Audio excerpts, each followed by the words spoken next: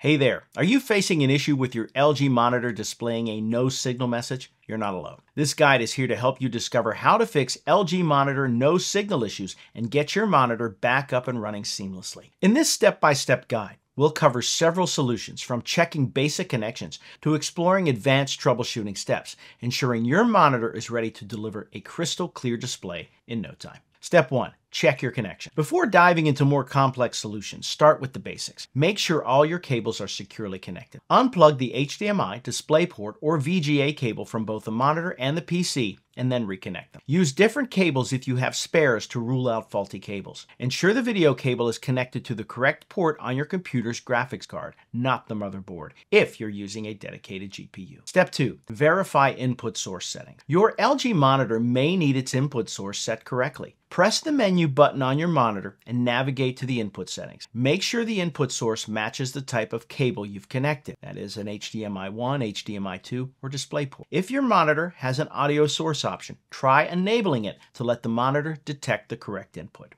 Step 3. Test with another device. To determine if the problem lies with the monitor or your computer, connect the monitor to another device, such as a laptop or a game console. If the monitor works with another device, the problem may be with your computer's graphics card or software settings. Step 4. Check display settings and resolution. Access your computer's display settings to ensure that it is set to output to the correct monitor. On Windows, right-click on the desktop and select Display Settings. Make sure the monitor is detected by your computer. If not, click on Detect to find it. Adjust the resolution to match the monitor's native resolution, often found in the monitor's manual or spec sheet. Step 5. Update graphics drivers. Outdated or corrupted graphics drivers can cause signal issues. Ensure your graphics drivers are up to date. You can do this by visiting the website of your graphics card manufacturer, such as NVIDIA, AMD, or Intel, and downloading the latest drivers for your make and model. Use the device manager in Windows to uninstall the current driver, then reinstall the new one. Step 6. Restart your devices. Sometimes all it takes is a simple restart to resolve a no signal issue. Turn off your monitor and computer completely. Unplug them from the power source, wait for a minute, and then plug them back in and power the devices back on. This reset can clear any temporary glitches that may be causing signal loss. Step 7.